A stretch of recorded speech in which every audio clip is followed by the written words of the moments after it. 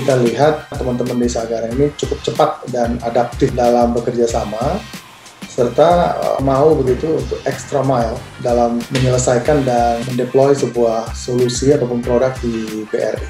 Bisa bilang memang kelebihannya dari Kagara sendiri go over the limit lah ya. Jadi memang apa yang kita minta dilakukan malah lebih.